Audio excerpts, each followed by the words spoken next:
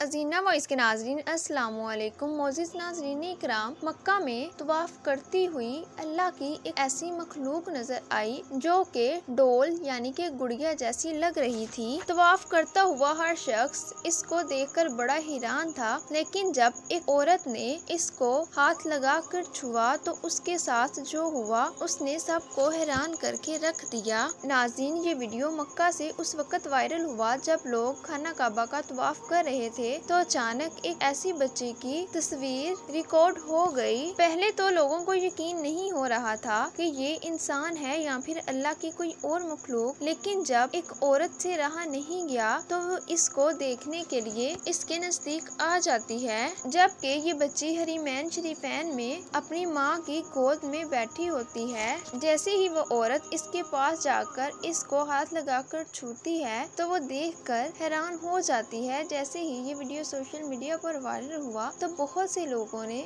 इसे पसंद किया और ज़्यादा से ज़्यादा शेयर किया। जब भी कोई शख्स इस बच्ची को पहली दफ़ा देखता है तो उसके जहन में यही सवाल आता है कि ये अल्लाह की मखलूक है? या फिर इंसान की बुनाई हुई कोई डोल? यकीन ये उस रब ताला की ही कारीगरी है जिसने की पूरी कायनात को बनाया और कुरान मजीद में अरशाद फरमाया लाकत खलकनल इंसान फ़ी एहसानी तकवीम। बेशक अल्लाह ताला ने इंसान को बेहतर शक्ल सूरत सूरत में पैदा किया। अल्लाह ताला ने अंजील तुरै तूर सीना और शहर मक्का की कसम खा कर ज़िक्र करके फरमाया कि बेशक हमने इंसान को सबसे अच्छी शक्लो सूरत से पैदा किया, उसके अजाब में मुनासबत रखी, उसको जानवरों की तरह झुका हुआ नहीं बनाया, बल्कि बल्कि सीधी कद्दो कामत वाला बनाया, उसे जानवरों की तरह मुँह से खाने वाला नहीं, बल्कि हाथ से पकड़ कर खाने वाला बनाया, उसे अक्ल फहम तमीज और बातें करने की सलाह से मुजयन किया। अगर इंसान अल्लाह ताला की दीगर मखलूक